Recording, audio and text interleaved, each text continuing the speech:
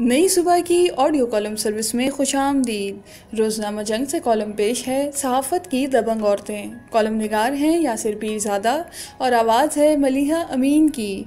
अगर आप नई सुबह की ऑडियो लाइब्रेरी से मुस्तफ़ होना चाहते हैं या हमारे साथ वॉल्टियर करना चाहते हैं तो विज़िट कीजिए हमारी website W W W dot Nai Subah dot org N A I S U B A H dot O R G Mahmal Sarfaraz एक दबंग खातून सहाफ़ी हैं। अक्सर सर पर साफा बांधकर टीवी प्रोग्रामों में शिरकत करती हैं। ये साफा अब एक तरह से उनका इंतखाबी निशान बन चुका है। अगले रोज उन्होंने अपने ट्विटर खाते से नमूने के चंद तबसरों का अक्स स्क्रीनशॉट शेयर किया, जो उनके बारे में कुछ लोगों ने ट्वीट किए थे। ये तबसरे नहीं, नंगी गालियाँ थी, बल्कि इससे भी आगे की कोई चीज़। जो ज़ुबान इन तबसरों में इस्तेमाल की गई थी, उसे बयान करना किसी शरीफ आदमी तो क्या? किसी बदमाश के लिए भी मुमकिन नहीं कि बदमाशों की भी कुछ न कुछ अखलाकियात होती हैं।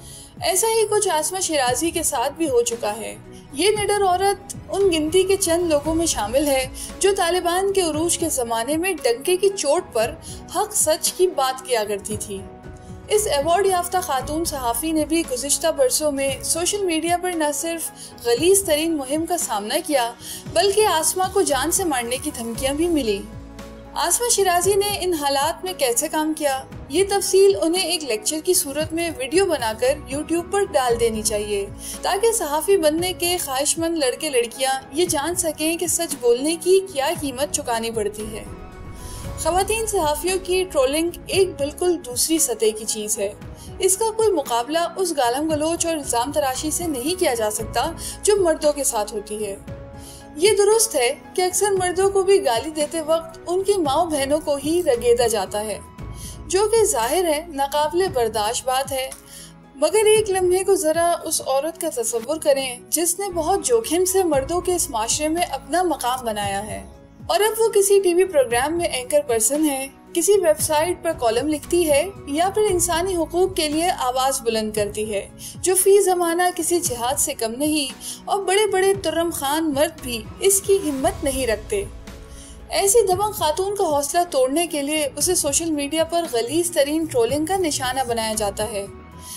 बबांगे दोहल ऑनलाइन कत्ल और इसमत दरी की धमकियाँ दी जाती हैं और ऐसे अल्फाज इस्तेमाल किए जाते हैं जो किसी फोरम पर पढ़कर सुनाए नहीं जा सकते पार्लियामान की इंसानी हकूक की कमेटी में जब ये खातन पेश हुई तो कोशिश की गई कि इन खातन के खिलाफ जो ट्वीट्स की जाती हैं, वो पढ़कर सुनाई जाएँ। मगर किसी औरत तो क्या, मर्द की भी हिम्मत नहीं हुई और वहाँ मौजूद कुछ लोगों की आँखों में तो आँसू आ गए सच बात तो ये है कि आजकल इस दौर में हक सच का अलम मर्दों से ज़्यादा इन खातन ने बुलंद कर रखा है। दो टोक राय देती हैं। आप इनसे इख्तलाफ कर सकते हैं, मगर इनकी हुर्रियत की दाद दिए बगैर नहीं रह सकते। इस जिम में जो चंद नाम इस वक्त मेरे जहन में आ रहे हैं, उनमें रीमा उमर, बेनजीर शाह, निदा किरमानी, आयमा खोसा, ईमान मजारी, गरीदा फारूकी, आयशा बख्श सना बुच्चा, नजराना यूसुफ जई वगैरह शामिल हैं। मुमकिन है कोई नाम सहुअन रह गया हो उसकी माजरत। इनमें से ज़्यादातर से मेरा कोई तारुफ है और ना मुलाकात। मेरी राय इनके नजरियात की बुनियाद पर कायम हुई है। कुछ से मुझे इख्तलाफ भी है, मगर वो बात अहम नहीं। अहम इन खातन का अपने नजरियात के साथ खड़े होना है। ये खातन बेचारी रोती पीटती इंसानी हकूक की कमेटी से वापस आई। तो इन्हें इस किस्म के मजम्मती बयान सुनने को मिले कि गालियाँ देना बुरी बात है। किसी को जिनसी तौर पर हिरासा नहीं किया जाना चाहिए। हम इसकी मजम्मत करते हैं, लेकिन इस लेकिन के बाद बात वही कि अगर आप लोग झूठ बोलेंगी और जाली खबरें फैलाएँगी तो फिर लोग तो गालियाँ देंगे। अंग्रेज़ी में इसे ब्लेमिंग द विक्टिम कहते हैं, यानी मजलूम को दोष देना। ये एक बीमार जहनीत है और इसमें पढ़े लिखे और अनपढ़ की कोई तखसीस नहीं। ट्रोलिंग में गलीज जबान इस्तेमाल करने वालों का अगर प्रोफ़ाइल देखा जाए तो इनमें से कोई बैंकर निकलता है तो कोई बरतानिया में आईटी का माहिर। किसी ने डीपी में कलमा तैयबा लिखा होता है तो कोई सब्स परचम लपेट कर बैठा होता है। तहम एक बात अलबत्ता इन सब में मुश्तरक होती है, ये सब सनी लियोन के परस्तार ज़रूर निकलते हैं। ये मसला बेहद गंभीर है और इसका हल आसान नहीं, क्योंकि ट्विटर यूट्यूब फेसबुक गूगल वगैरह की इजहार राय की पॉलिसी भी इस जिम में खासी मुबम और गैर वाज है। अच्छी खासी गालम गलोच पर भी ये कंपनियाँ खाता बंद नहीं करती, तावक्ते आप इन्हें ये सबूत फराहम ना करें कि आपकी जान को खतरा है।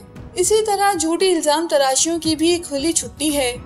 किसी सोशल मीडिया कंपनी ने इस जिम में कोई सदेबाप नहीं कर रखा। शायद इन्हें ये गंदी गालियाँ समझ ही नहीं आती होंगी।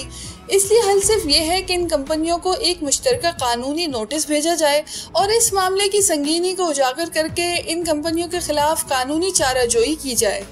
जिन ममालिक में ये कंपनियाँ काम करती हैं, वहाँ इस किस्म के कवानीन बेहद सख्त हैं और एन मुमकिन है कि ये कंपनियाँ अपनी पॉलिसियाँ तब्दील करने पर मजबूर हो जाएँ। अगर ऐसा हो गया तो ये बात किसी इनकलाब से कम नहीं होगी।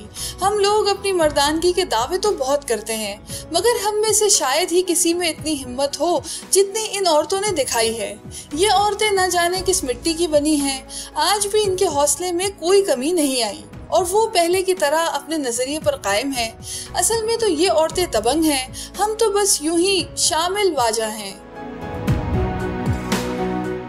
ये मालूमती मवाद नई सुबह की जानब से पेश किया गया। हमारे कंटेंट से मुतालिक अपनी आरा के इजहार के लिए कमेंट कीजिए या डिस्क्रिप्शन में दिए गए रबते के जराये इस्तेमाल कीजिए।